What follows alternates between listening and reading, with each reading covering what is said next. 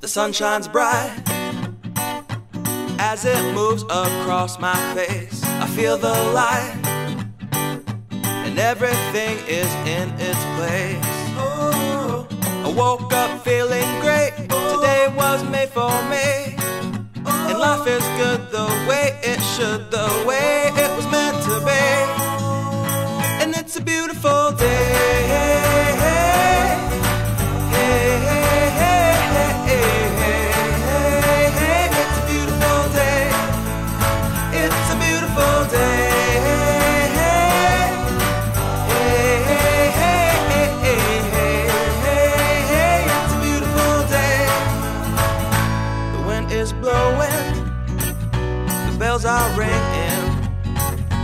Children playing in the park while birds are singing. I am walking, I am walking, and I am laughing,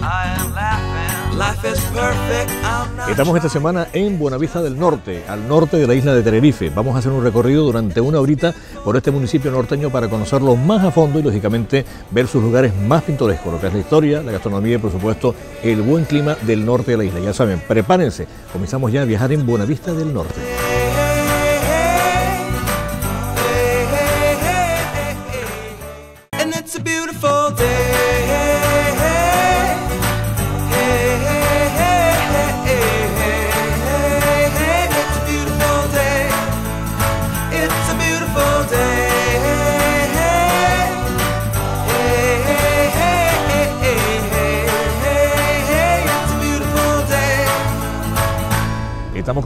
Comenté, en la plaza de Buenavista del Norte, en la plaza de los Remedios. Vamos a hablar con Ángela García, ¿no? Sí. que ella es técnica de turismo y por supuesto nos va, digamos, a acompañar en esta edición de Viajar en Canarias aquí en este municipio norteño de la isla de Tenerife. Esto es el norte, norte, norte, ¿eh? Sí. Buenavista El- del Norte. El último pueblo, ¿no? De, la, de esta parte de la isla. Sí, porque después del Buenavista del Norte das la vuelta y te vas al sur.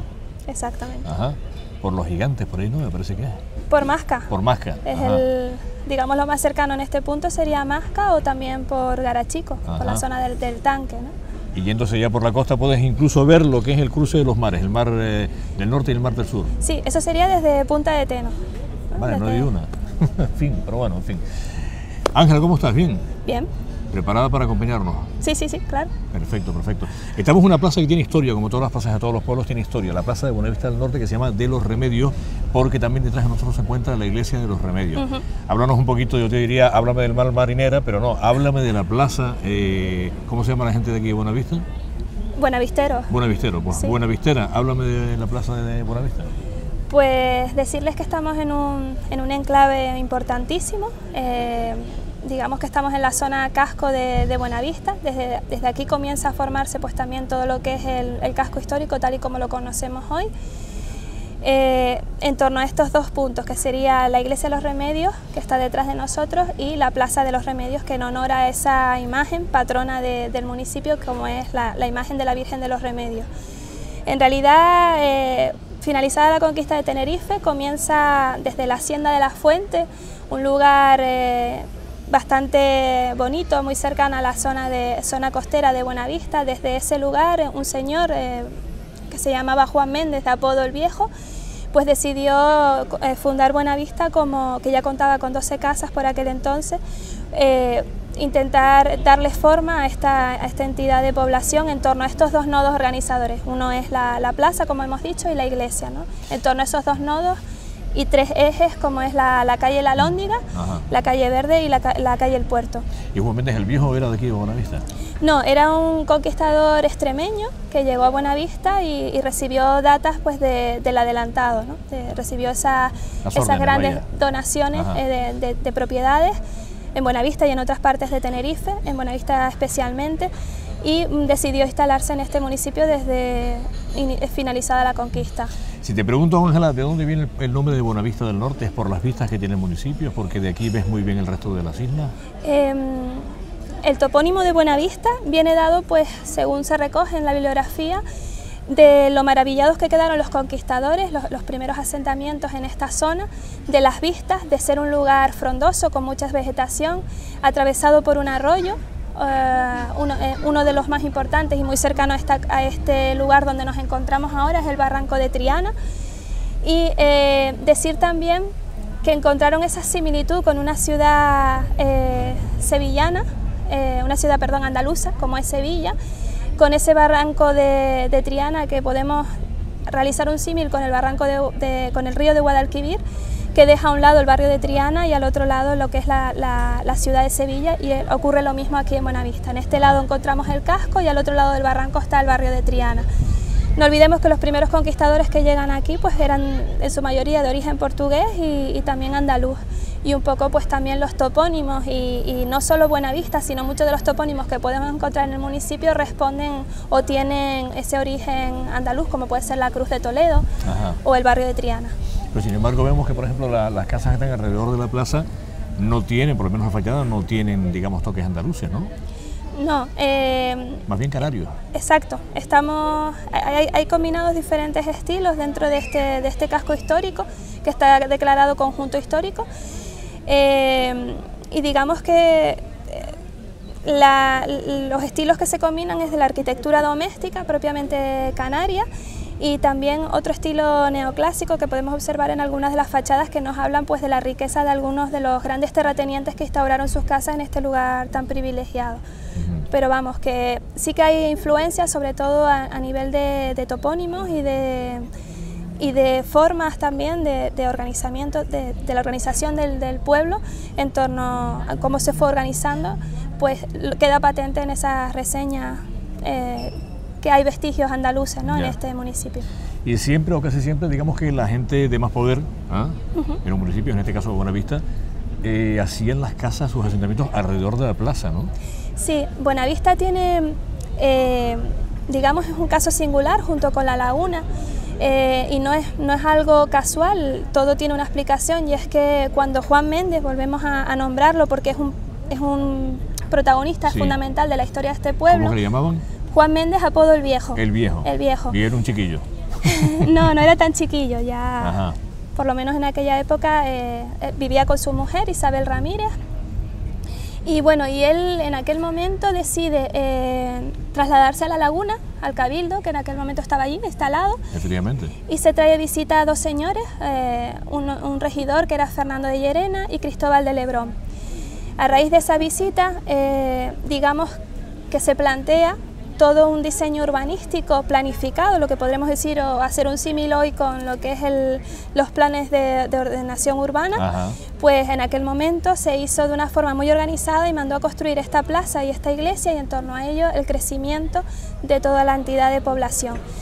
Junto con La Laguna son los dos, los dos únicos municipios que constan eh, de, esa, de ese acta fundacional, eh, de esa organización privilegiada y organizada en torno a ese, a ese hecho histórico. O sea que eh, digamos que es San Cristóbal de la Laguna y por otra parte Buenavista del Norte. Sí, tienen esos dos, comparten ese, ese hecho, ¿no? el, el, el, hecho de que toda la población no se construyó donde, donde se quería, sino que se fue haciendo todo el poblamiento de una forma bastante organizada, pues a raíz de esa visita y a raíz de las directrices que Juan Méndez y Juan de Mesa, entre otros, pues eh, dictaban desde su, desde su propiedad de la Hacienda de la Fuente el construir de forma organizada este pueblo de, Buenavista. Pues fíjate tú, fíjate tú. Y vemos las casas que están alrededor, eh, Ángeles, sabemos que están, algunas están cerradas, se ve que están cerradas, de hecho incluso están en venta, otras siguen abiertas, pero que las están, digamos que prácticamente manteniendo ahí casi casi intactas, ¿no? Sí, sí, ya prácticamente todo el entorno están rehabilitadas. Eh, en una de ellas Casualmente es donde yo trabajo, que es la Oficina de Información Turística. Hace escasamente dos años estamos en ella y ha sido totalmente restaurada. Era la, prácticamente la única que quedaba. Y como bien dices, hay alguna propiedad que, que se está alquilando o bien se está vendiendo, pero están todas rehabilitadas ¿no? y con un buen con un buen aspecto. Por ejemplo, podríamos hacer referencia a una muy a la que yo le tengo bastante especial cariño y bueno, y que pasa un poco desapercibida, que está en este lado de la, de la plaza y fue la casa natal del historiador de, de Buenavista, don Nicolás Méndez. Pues fíjate tú. Antes me comentabas algo de la don Nicolás Díaz Dorta. Díaz Dorta. Bueno, en fin, quedó claro, don Nicolás Díaz Dorta. Antes me comentabas algo muy importante de la laguna, vamos a ver. Y yo te digo, te pregunto, ¿a ti te gusta, por ejemplo, cuando vas a la laguna, te gusta tapear, ir de tapitas, ir de vinito, Claro, y... ¿Conoces el bodegón Viana? Sí, claro. ¿Has estado en el bodegón Viana? Sí, sí. Sabes que han vuelto, o sea, de siempre han vuelto nuevamente otra vez al bodegón Viana, en la calle Viana, con sus carnes, sus vinos, sus tapas, etcétera, etcétera, etcétera. Se pasa fenomenal. Preguntas por Francisco que él te puede dar una, digamos, una carta estupenda de vinos canarios ¿ah? y también de la buena cocina del restaurante, del, perdón, del bodegón Viana, y lo pasas de maravilla. Sí, he tenido la suerte de estar porque como todos los que nos ha tocado estudiar en La Laguna, pues era parada obligatoria estar en ese bodegón y la verdad que, es bastante bueno, incluso no nos importaba esperar fuera para intentar coger una mesita, ¿no? Y además, imagínate en invierno ahí tal con el vinito del bodegón Viana, atrás la carnita en mi cabeza, y ahora que viene el verano, pues también en la terracita por fuera, o te pones en la puerta tranquilito con tu pareja, etcétera, con tus amigas, ¿ah? en el bodegón Viana, toma nota, no te olvides, bueno, tú has estado ahí, bodegón Viana, un vinazo tremendo y unas carnes alucinantes, no se olviden. Eh, seguimos vacilando, o más que nada, más que vacilar, por favor, seguimos disfrutando y también echándonos una risa aquí en Bonavista. Sí. ¿Te parece? Claro. Pues venga, perfecto, no se vayan, estamos aquí. The sun shines bright as it moves across my face. I feel the light and everything is in its place. I woke up feeling great. Today was made for me.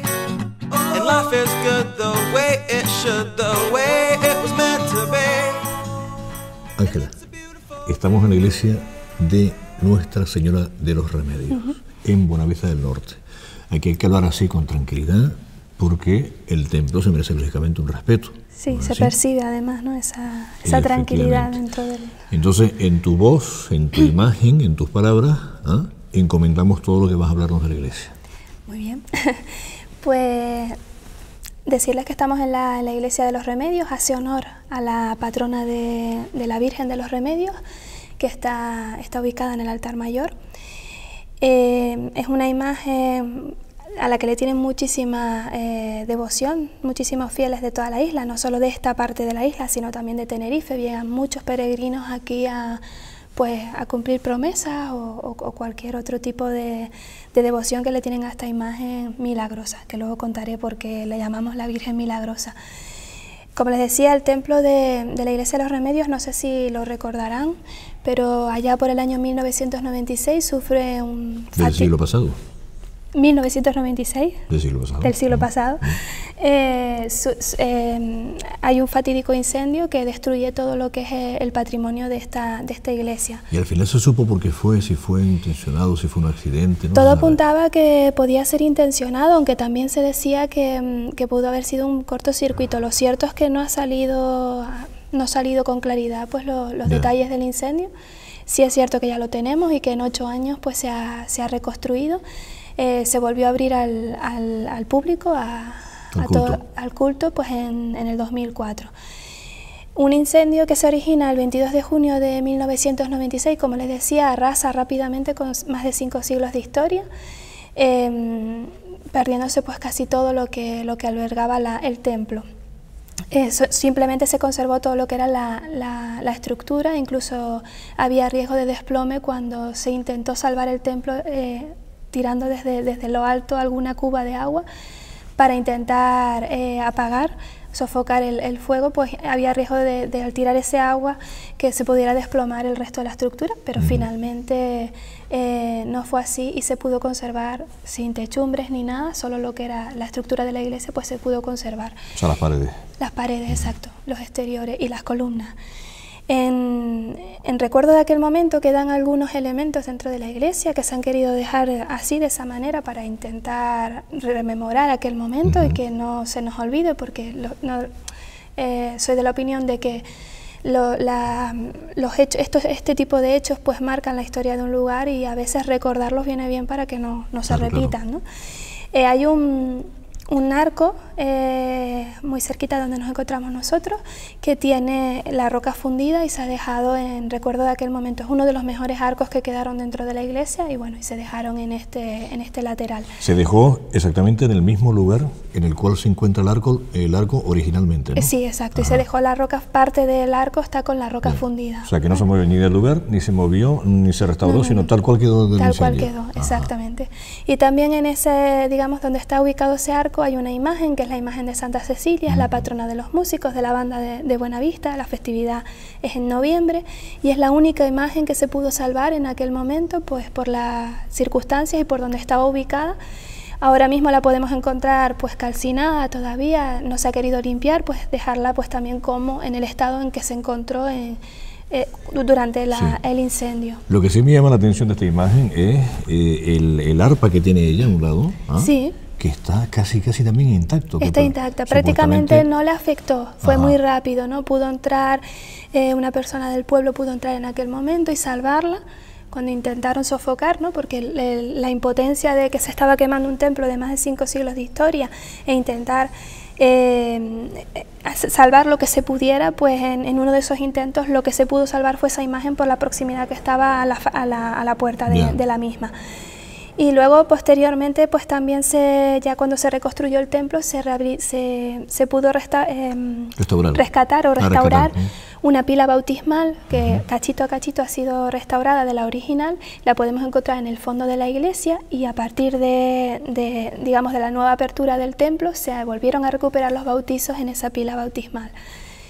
Eso y otras, otras tantas cosas que podríamos hablar, pero lo que cabría mencionar respecto al templo es que ha sido una reconstrucción pues, de administraciones, lógicamente, pero también un gran vuelco por parte de la población de Buenavista en, en volver a restaurar eh, este templo que, siendo no creyentes, era un patrimonio pues, de los buenavisteros y buenavisteras. Y en cuestión de ocho años, en aquella época, pues se pudo volver a abrir el templo tal y como lo vemos. Un templo que, bueno, que se ha ido dotando poquito a poco de imágenes, eh, de las imágenes de la Semana Santa, de la imagen de la patrona. ¿Cuáles están aquí? ¿Cuáles son, digamos, a resaltar? Digamos a resaltar, la principal sería la, patrona de, Buenavista, que es la, Virgen de los Remedios, está en el altar mayor, como les dije antes. Es una imagen que, llega al año siguiente del incendio, es una imagen nueva de, las escuelas de, Cádiz. Eh, su escultor es Luis González Rey, que es el máximo, uno de los máximos exponentes de la escuela gaditana, de la, de la pasión gaditana eh, de, la zona de Andalucía. Y bueno, y esta imagen llega al año siguiente. No olvidemos que sus eh, fiestas se celebran en octubre. Eh, imagínense el año 1996, no pudo haber fiesta alguna porque no teníamos esa imagen, pero sí que al año siguiente se hicieron todos los esfuerzos porque llegara la imagen a Buenavista y se trae en procesión desde el municipio de Icó de los Vinos hasta, hasta llegar aquí. ¿Desde Icó hasta aquí? Desde Icó aquí en peregrinación. Hasta Icó llegó pues en un vehículo privado, ¿no? adaptado para poderla traer, pero desde Icó hasta aquí vinieron muchísimas personas, se unieron a esa y se iban uniendo en los pueblos para acompañar a la Virgen hasta Buenavista y ya luego se celebró la víspera y al día siguiente el día de de los remedios y fue muy emotivo. Hasta entonces el templo se ubicó en un, en un lugar muy cercano aquí, que es el templo del granero, el edificio del granero, se habilitó pues para intentar seguir con, digamos, con la rutina de, las misas y todo lo que es la, la, actividad religiosa en el municipio. Y allí se ubicó también la imagen. En torno a esta imagen hay un hecho muy importante en Buenavista, eh, que todavía hoy seguimos contando, sobre todo de abuelos a nietos o de padres a hijos también, y es la historia de la langosta. La langosta. De la langosta o la cigarra también. Esto es lo que tú me comentaste antes fuera de cámara, de que ibas a contar ese, ese milagro, digamos así. Sí, es un hecho milagroso que por eso se le atribuye ese hecho a esta, esta Virgen y la ya conocemos también como la Virgen milagrosa, ¿no? la Virgen incluso del remedio porque en aquel momento le dio remedio a una situación, o por lo menos así lo atestigua la gente de, de la época. El acontecimiento sucedió en una de esas eh, grandes plagas de langosta por las que se veía afectado el archipiélago canario. Muchos pueblos de, Tenerife, incluso de otras islas, se vieron afectadas por la plaga de langosta. Una de las más importantes aquí en Buenavista fue en el año 1659 eh, aconteció que llegaron muchísimas, miles. Eh, venían de África, ¿no? Venían provenientes del continente de África, unos bichos de unos 3 centímetros que arrasaban con todo lo que, lo que podamos imaginar, sobre todo lo que cultivaba la gente del pueblo en aquella época, pues el trigo, la cebada, los chochos, todo lo que podamos imaginar y además es un insecto que, mm. que acaba con... que acaba con todo desde la raíz, ¿no? Los chochos maltramuses. O Altramuse también. Que unos u otros son buenos. Sí. Pues en esta Virgen mm, era tanta la, desesperación de los vecinos de, aquel momento, en aquel momento, que acababan con todos aquellos bichos. Los vecinos salían a la calle intentando hacer fuego, hacer ruido, para intentar eh, que, que esas langostas desaparecieran. Y bueno, una vez más se recurre a la fe religiosa y el alcalde de aquella época, el escribano y, también el párroco, pues deciden reunirse con los vecinos y echar a suerte si sacar a la Virgen de los Remedios o al copatrón, hoy copatrón del municipio que es San Bartolomé, del que luego también les hablaré. Pues si, se sacaba eh, a una de las dos imágenes en procesión y finalmente sale la Virgen de los Remedios como la, imagen elegida para sacarla en rogativa por las calles del municipio. Se dice que cuando la, la Virgen Mm, se lleva hasta el punto de la Cruz de Toledo. Cuando ya venía de regreso hacia, hacia el templo, se le pegaron tres langostas en el, en se le posaron en el manto tres de las langostas y la calamidad desapareció. De, de hecho, si la pudiéramos ver de cerca, en su manto tiene bordadas, eh, tiene las langostas. bordadas en el manto. Y bueno, y responde un poco a ese hecho milagroso. ¿no? Pues fíjate qué cosa, a raíz, más, curiosa. ¿eh? A raíz de ahí, pues... Eh, se intenta, eh, se intenta, no, se nombra a la, Virgen de los Remedios como patrona del municipio de Buenavista, quedando a San Bartolomé como copatrón del, municipio. La festividad de la Virgen es en octubre y la de San Bartolomé es en agosto. Y en torno a la imagen de San Bartolomé también hay una leyenda muy bonita que todavía se sigue transmitiendo, aunque ya menos. Pero resúmela. La resumo un poquito, ¿vale? Eh, es, la, conocemos como la Diablita y consiste simplemente en que el día 23, que es la víspera de San Bartolomé, a las 12 del mediodía se coloca la bandera en la torre, en el punto más alto de la iglesia, la bandera de Buenavista, que también ya va a quedarse ahí hasta las, eh, hasta las fiestas patronales de Buenavista. Y mm, se lanza un volador dando el aviso a la población de que ya la, San Bartolomé ha soltado a la diablita, una imagen que lleva pues un puñal y una diablita atada a una cadena. Cuando San Bartolomé desata a la diablita durante esas 24 horas hasta el día siguiente, a las 12, hasta el día 24 de agosto, hasta hace relativamente poco tiempo había sobrecogimiento total en la población. No se podía salir a la calle o se salía pocos. Era pleno agosto, la gente de Buenavista no acudía a la playa por temor a ser atacado por la diablita. ¿no? Y es algo bueno que, sobre todo los abuelos con sus nietos recalcan bastante para tenerlos controlados, ¿no? sobre todo a, día de hoy. Buen remedio para el tema de los chiquillos, ¿eh? la diablita. En vez del hombre del saco, la diablita o el coco. Y si nos pasa algo durante esas 24 horas, se lo atribuimos a, la diablita de San Bartolomé. Pues otro punto importante de visita aquí en Buenos del Norte es la iglesia de Nuestra Señora de los Remedios. Tomen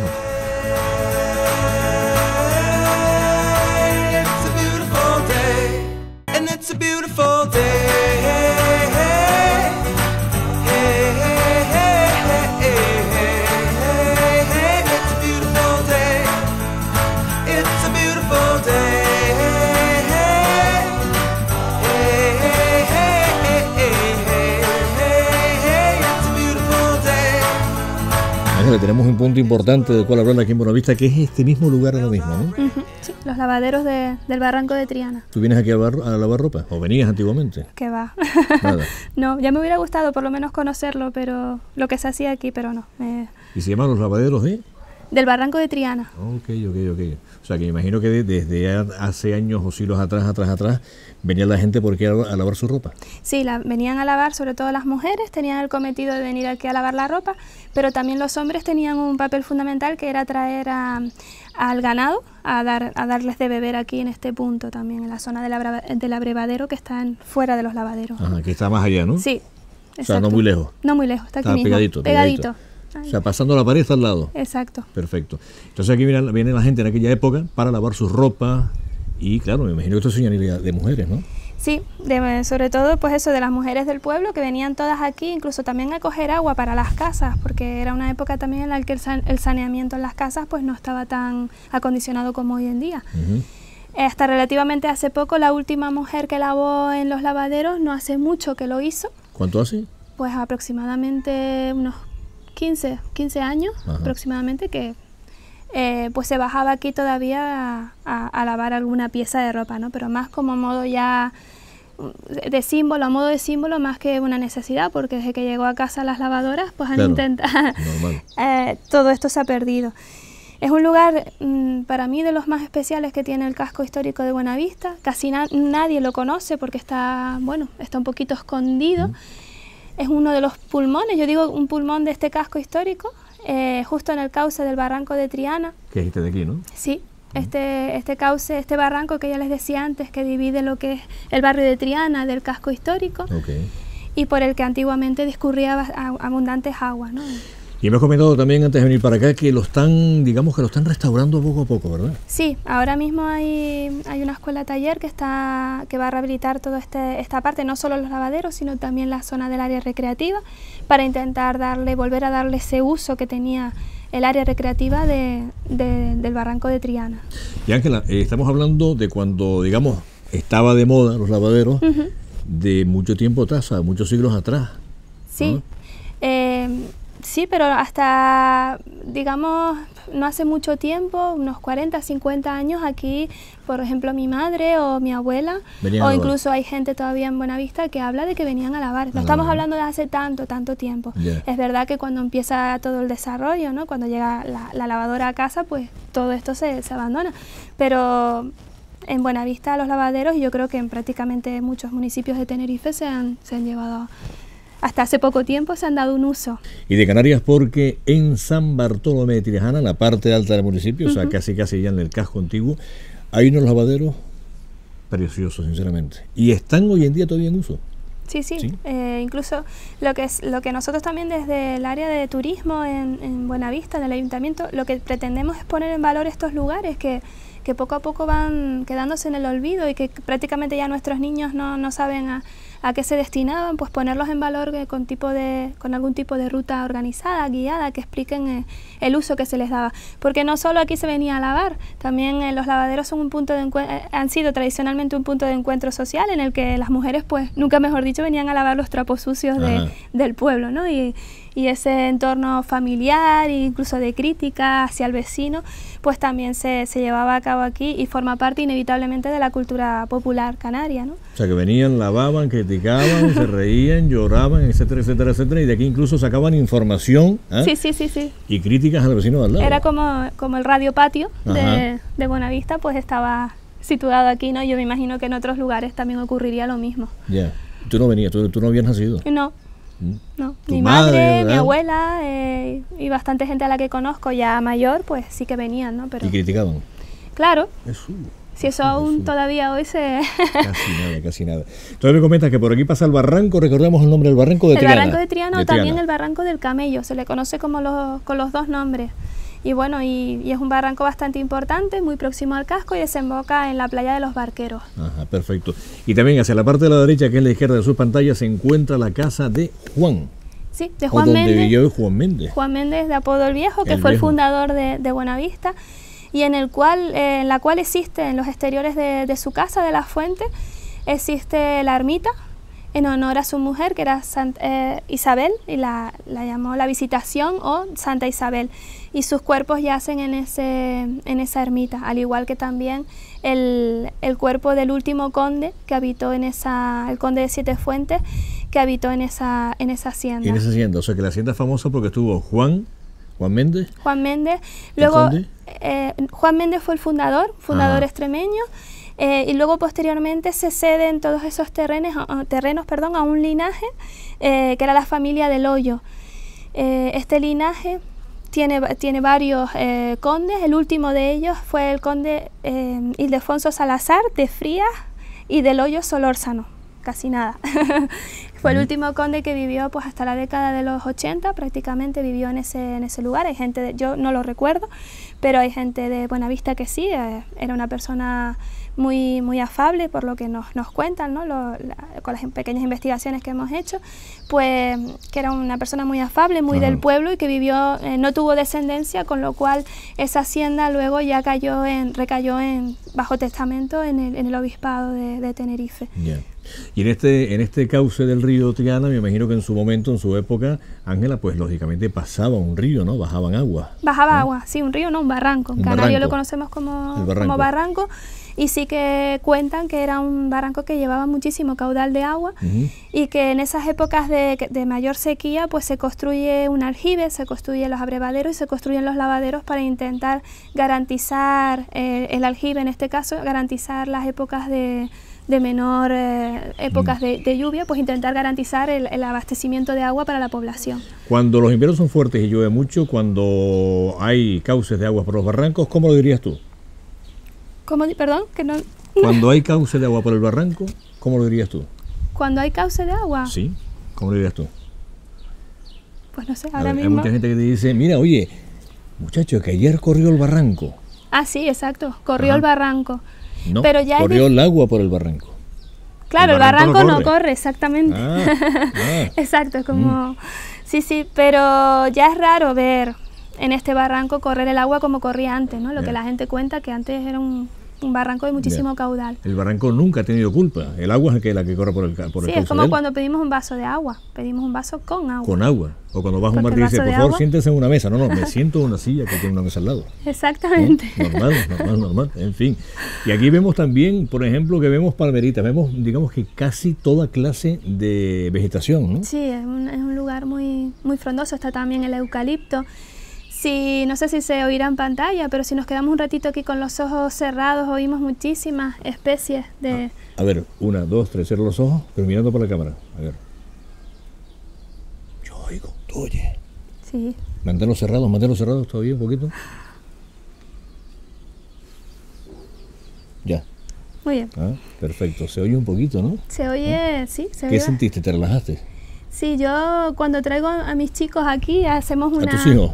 No, a mí, yo llamo a mis chicos a la, a la gente con la que hago las rutas, ¿no? Los Ah, vale. participantes de las rutas.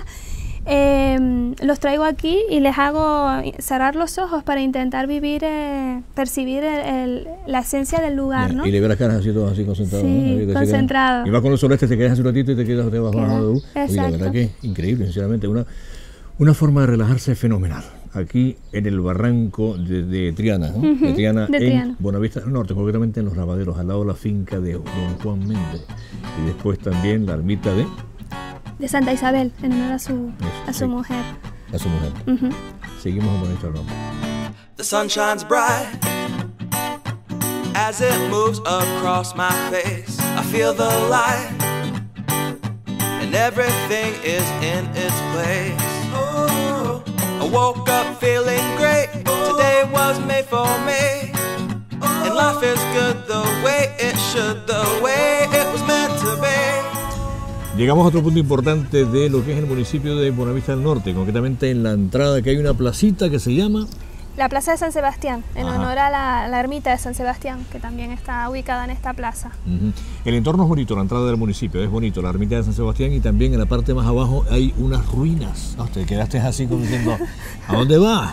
No. Eso digo yo, bueno, unas ruinas o el- lo que nosotros conocemos como el pórtico del antiguo convento de San Francisco, de la orden franciscana. Ajá, cuéntanos, cuéntanos, cuéntanos. Es interesante. Eh, acerca de ese convento, mm, decir que hoy lamentablemente solo podemos encontrar lo que es ese, ese pórtico, eh, pero que antiguamente, mm, así lo atestigua todo, todo un estudio que existe sobre ese, mm, sobre ese convento, eh, era un convento bastante grande, fundado por la, la orden franciscana, y los franciscanos lo que hicieron fue, cuando llegaron a Buenavista, primero fue intentar ubicar un lugar, eh, digamos, estratégico, un lugar a la entrada del pueblo, un lugar visible, eh, para insta- instalar ese, ese convento franciscano.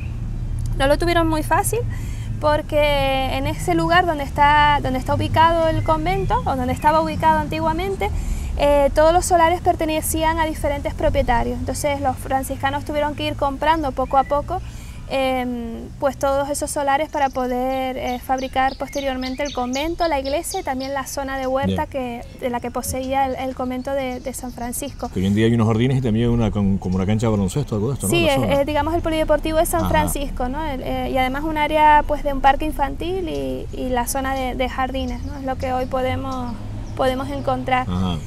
Es una pena que tenerlo en este, en este estado, casi nadie, si no, si no hablamos de él, casi nadie conoce la historia de, de ese convento que organizativamente en el interior era muy similar a un convento como podemos encontrar tan importante en Garachico, eh, con más de 20 franciscanos dentro de esa, de esa orden, unos franciscanos que, como les decía, llegan a Buenavista, se instauran y que tiene mucho que ver con el lugar donde nos encontramos ahora, que es la ermita de San Sebastián, porque en un primer momento intentan eh, apoderarse o intentan eh, hacerse con, con la propiedad para poder hacer eh, todo lo que es el, ritual de misas y demás con la ermita de, de San Sebastián. La ermita de San Sebastián no pudo ser así porque finalmente se dieron cuenta de que era una ermita que había sido construido por los vecinos del pueblo y los vecinos obviamente pues se negaron a que, a que eso sucediera y posteriormente ellos diseñaron y construyeron su propia ermita dentro del convento de, San Francisco. Que ya hoy en día no existe. No, ya no, existe, solo queda lo que es el pórtico. Un convento que estaba eh, digamos, bajo la advocación de la Virgen de las Mercedes, una imagen que estaba en el templo parroquial que vimos anteriormente, en la, iglesia de los Remedios, pues estaba bajo esa advocación eh, sobre la Virgen de las Mercedes. Como cualquier época que sufre los pueblos de, las islas, hay épocas de mayor auge económico y otros de, de mayor decadencia. Y en esas épocas de decadencia, mm, por distintos motivos y también por enfrentamientos con la iglesia, se deja poco a poco em, en estado de abandono ese convento hasta la desmantelación de, la propia orden y, del, propio convento, ¿no? Y así es como pues también desaparece toda esa, importancia. Algo que hacían, eh, algo importante que hacían los franciscanos era educar a la población, que en aquellos momentos pues no estaba tan bien visto por parte de la iglesia porque lo que interesaba también era tener a una población eh, un tanto analfabeta para intentar para, dominarlos y no intentar que, se rebelara al pueblo contra, contra lo que intentaba imponer la iglesia en aquel momento. Y bueno, y diferentes anécdotas y, acontecimientos que sucedieron en torno a ese convento propiciaron el que desapareciera finalmente. Y tengo entendido también que había un cementerio. Sí, posteriormente eh, se destinó, lo que hoy vemos como pórtico, se destinó al, cementerio municipal de, de Buenavista hasta que se construyó el, que es el actual cementerio, pues estuvo destinado a, enterrar ahí a los vecinos de, Buenavista. En la parte alta del, pórtico hay como un escudo. Sí, el escudo de la orden, de, la orden. de la orden franciscana, pues está ahí. Eh, y, solo lo que es el pórtico, que es el pórtico de la iglesia, no del convento, es el pórtico de la iglesia del, del, exconvento, eh, ya nos habla un poco pues de la, de la calidad de los materiales que se usaban, es un pórtico de cantería, eh, y también del arte con el, que, con el que se llevó a cabo toda la influencia artística con la que se llevó a cabo todo ese convento y la riqueza, ¿no? que por sí mismo hablaba, eh, habla pues lo que es la puerta, solo esas ruinas. Y la ermita con la clásica plaza y la plaza con la ermita, o sea que aquí me imagino que en fiestas también eran sus bailes, sus historias, etcétera, etcétera, etcétera, pero ¿qué te parece si nos cuentas un poquito el interior de la misma?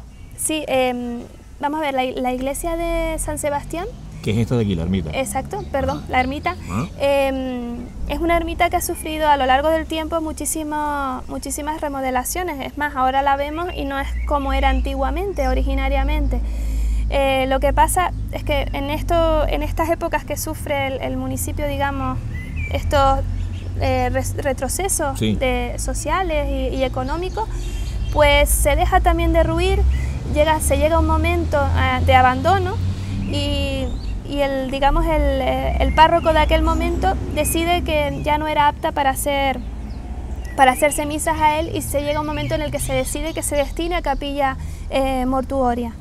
Los vecinos, había sido una, obra hecha por los vecinos de Buenavista, se rebelan contra tal acontecimiento que, para, para que esa ermita no deje de tener su uso, pero finalmente se destina a capilla mortuoria y en épocas venideras se vuelve a decidir que no se podía destinar a ese, a ese hecho porque estaba muy alejada de la, de la parroquia, de la parroquia central.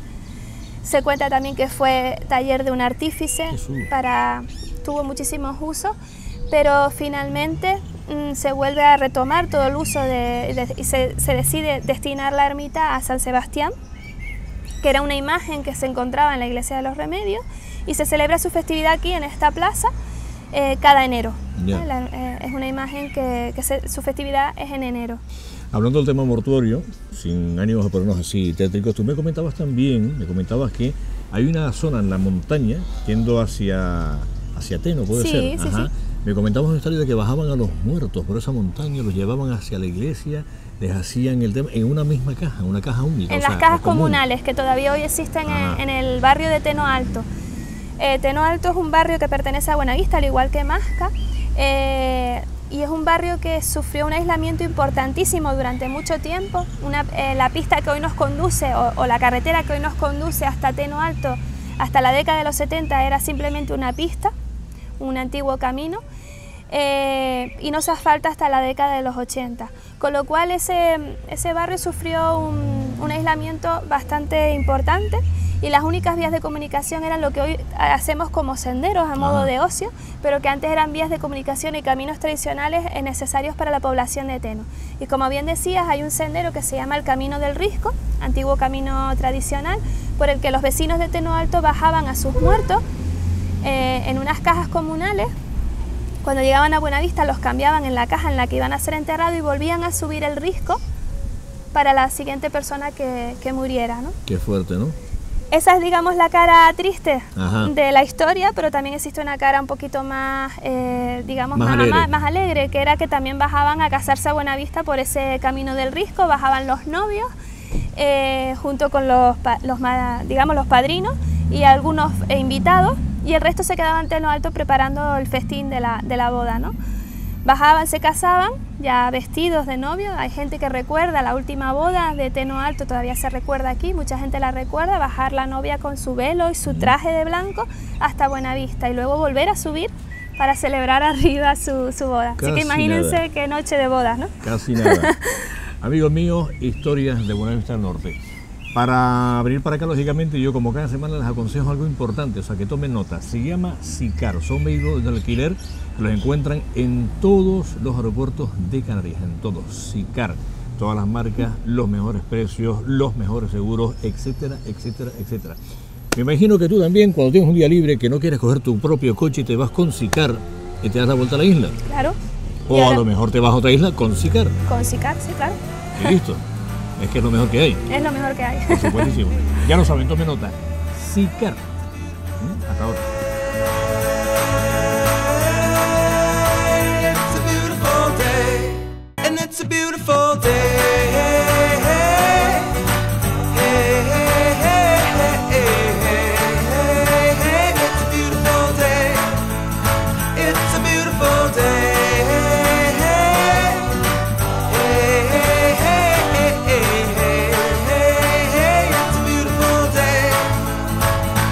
Estamos ahora mismo ya en la recta final de este viaje en Canarias, en Buenavista del Norte, y vamos a hablar con Fonfo del restaurante La Cabaña. Fonfo, porque se llama Alfonso, pero digamos que amigablemente de toda la vida es Fonfo. Fonfo, ¿cómo estamos? ¿Bien? Bien, aquí estamos Mira que no me equivoqué, ¿verdad? No, no, no, no te has equivocado. Alfonso no, Fonfo.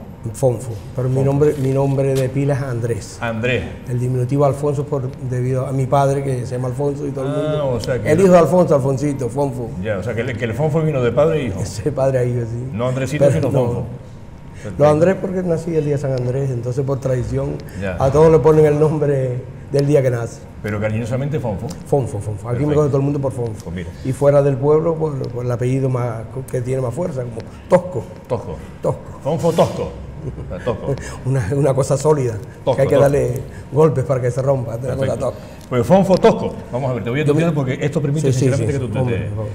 Eh, Fonfo, vamos a comenzar, por ejemplo, hablando las, con las croquetas, o de las croquetas, mejor dicho, porque ellas no hablan, y después con los churritos de pescado. de pescado. En principio pensé que eran tequeños venezolanos, pero no, son churros de pescado. Son churros de pescado. Croquetas con truco, digamos, con cariño y con mucho secreto, ¿no? Al estilo de la abuela, como se dice, todo el mundo va hacia atrás pensando en los padres y en la abuela. Pues sí, eso es una receta de mi abuela.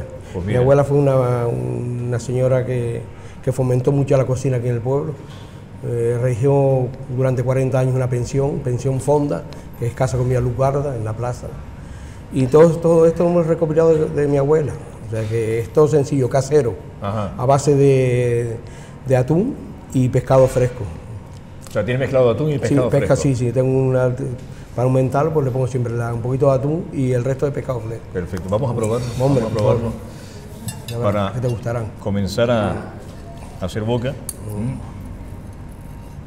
La verdad que las abuelas tenían un truco tremendo, ¿eh? Sí, sí. Porque esto está de rechupete. Copiarse, copiarse mucho de las tradiciones de, lo, de nuestro pasado es muy grande. muy grande porque es que si no se pierde, lo poco que se pierde. Lo vamos a tradicionar, a evolucionar la cocina, pero lo nuestro ¿qué? ¿Lo mm. nuestro queda atrás? No, hombre, lo nuestro hay que irlo conservando. Y aparte de las croquetas, voy a adelantarme a ti a probar un churro de pescado. Eso también de la abuela.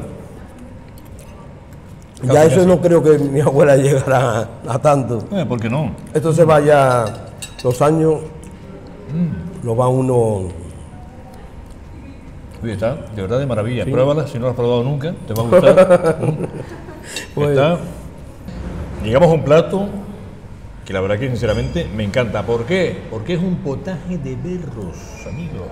Espectacular. auténtico potaje canario. Cuéntame, cuéntame cómo, cómo lo hicieron. Pues nada, esto, mm, la elaboración de esto es muy sencilla. Se hace todo crudo. A excepción de, se- primeramente ponemos las papas, los berros ya picados, el, eh, los garbanzos, luego le hacemos un manjado de comino, ajo y cilantro para dar un poquito de sabor. Un buen con- se sofríe eso con un buen aceite y se condimenta con un poquito de orégano, eh, perdón, tomillo y la hojita de laurel y se da el tiempo suficiente y el- la carne, la carne es muy esencial para que dé sabor. Tiene un trozo de, de panceta, de, de tocino y costilla. Yo me adelanto, ¿eh? Sí, hombre, pruébalo que verás que te gustará. Está de maravilla. Sinceramente, yo soy un amante de los potajes de berros. Sí. Me encanta de toda la vida. Y esto está, señores, sinceramente está, pero espectacular. Mm. Vamos aquí. Baja.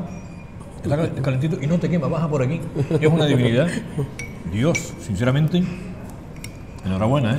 Gracias. Y esto solamente lo pueden probar en el restaurante La cabaña. La Cabaña. Casa en Fonfo. Buenavista del Norte. En Casa Fonfo, ya lo saben, tomen nota, que está riquísimo. Digamos que ya casi casi en la recta final de este platazo. Esto es un plato de, de ca- de- de pescado. Pues sí. Ajá. Cuéntanos un poco. Bueno, cu- Bueno, cuéntanos eh, de antemano, este es el plato estrella que tengo yo para cuando tengo banquetes y eso, que me vienen comuniones, bautismo, alguna, alguna comida de empresa y todo, pues casi siempre se me van al pescadito arreglado en escabeche. Igual hago, pongo el cherne, como hoy que he puesto el cherne, o pongo un bacalao en Ya. escabeche. La elaboración esta es muy sencilla, la clásica de siempre, hacer un, un simple escabeche, dorar lo que son las cebollas con, con el ajo, el, el pimiento y luego agregando el, el resto de, de los ingredientes. El pimentón, el chorrito vino, el chorrito vinagre, las almendras, el toquito de almendra, las, la- las pasas y, el, y las aceitunas. Y darle el punto de cocción justo. Perfecto. Que no se pase porque ah, lo, lo que notas en los ingredientes están sueltitos, no están reguisados. Vamos a el pimentón, el pimiento, perdón, lo ves que está sobre lo, está mm, al dente, como se dice. Ajá. Bueno, lo, pu- lo puedes probar a ver si queda. No, qué también tal arranca tú, también arranca tú. Los dos vamos a ver. A ver quién gana. Vamos a ver. Vamos a. Esto está. Espero que no encuentren una espina. Yo intenté por todos los medios. De momento, esto está buenísimo. No hay espinas, no hay peligro. Espinas no hay. Uh, Se come de maravilla, parece mantequilla. pues sí.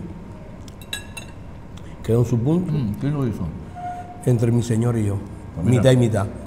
Para los dos, felicidades, eh, sinceramente. A la señora ya la felicidad, porque está espectacular. O sea, Nosotros tenemos, la, nosotros, nosotros tenemos la suerte que los dos compaginamos la cocina.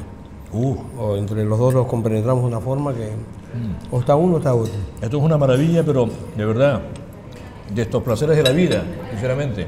Único, único, único. Y por cierto, la papita que es La papita bonita, negrita, fundamental, fundamental. que tienen que estar del día. Para el precio que tienen que estar, tienen que estar fabulosas. Espectaculares. Llegamos ya al punto dulce de la velada, Hombre. el postre. El postre. ¿Cómo es el tema? Háblame del Bueno, postre. eh, toda comida, si no es acompañada con un buen postre, siempre se le echa el pero a la comida. Mm, hay un refrán que dice, mm, no, no, muy bien, yo, pero cuando llegó el postre, me quedé satisfecho. o a la inversa, o a la inversa. ¿eh? Si tú te comes, a supo- el postre está ruin, dice, bueno, pero hemos comido bien, el postre Ya. no va a venir. Pero el postre de por sí endulza el resto de lo anterior. Efectivamente. Sí. ¿Y esto qué es? ¿Qué postre vamos a comer Bueno, ahora? eh, esto está hecho a base de piña natural, de aquí de la finca La Laja, de los Acevedos, son clientes nuestros. y, eh, el compu- el- está compuesto de la piña natural, como te digo, y lleva las tres leches, leche natural, eh, evaporada y leche condensada. Y los pesamos con un poco de gelatina de piña eh, y el toquito de, de- de coco que le pongo coco. también para... O sea que es una auténtica divinidad. Sí. Vamos a probarlo, Bueno. sí. Porque esto, una buena comida sin postre, como dice, Sí, que va. Muy bueno, muy bueno, muy bueno. Por cierto, no apto para diabéticos, ¿no? Mm. Porque es una- Hoy estoy haciendo una sesión. ¿eh? Pero bueno, un poquito no, no pasa nada. ¿Habrá que? Pero lo malo que las excepciones hay casi todos los días. Me paso hoy y mañana también. Pero Genial. bueno. Y ya en la recta final les digo una cosa, les recuerdo que nos pueden seguir amigos míos por las redes sociales y por supuesto, por supuesto, no se olviden, no se olviden que la mejor manera de recorrer las islas vía terrestre es con SICAR, no se olviden, ¿eh? SICAR, en todos los aer- aeropuertos de Canarias. Vamos a con la copita para hacer un brindis, porque ha merecido.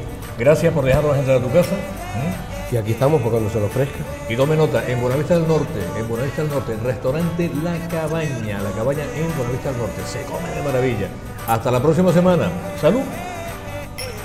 Y nos vemos. Y aquí estamos, para todos.